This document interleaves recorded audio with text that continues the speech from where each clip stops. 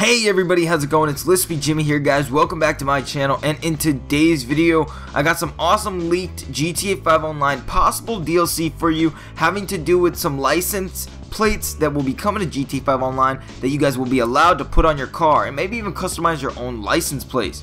Now guys, before I do get into this video, I just want to say thank you guys to all of you that supported me on my last video. That video will be in the description. It was basically me having to do with hate on YouTube and all that bad stuff that, you know, was going on. And I just, you know, it just goes to show that, you know, a lot of you guys do care about me and I can thank you enough for that.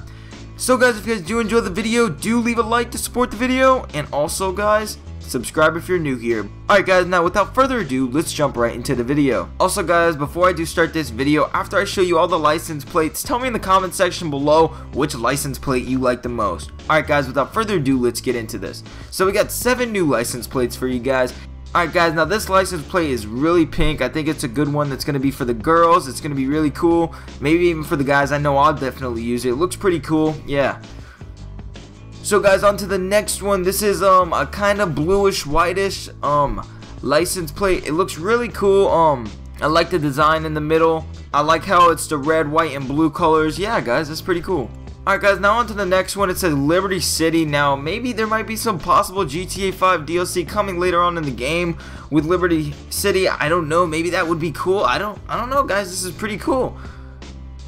Now we got an awesome one that says Liberty City. That looks really cool. I like the colors, the red, white, and blue again. Alright guys, now we got another license plate that says Shrimps. I think that's pretty cool. It's probably some type of team or something. That looks really cool. And guys, we got a Sprunk license plate right here. It's pretty detailed. It looks nice. I like the color, how the green, you know, gets lighter at the top with the ingredient. That's really awesome. That would probably be one of my favorites. And we got another Liberty City one.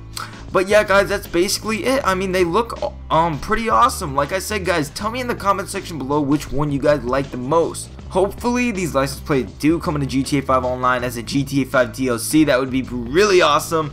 And I can't wait to get them. But anyways, guys, nevertheless, and if you guys are asking which one is my favorite, I would have to go with the Liberty City one right here. It looks really cool. I like how, you know, the city's in the background. It looks really nice. And yeah, tell me your favorites in the comments below. Like the video if you did enjoy. And this has been Lispy Jimmy. I'm out and I'll catch you guys in the next video. Peace, guys.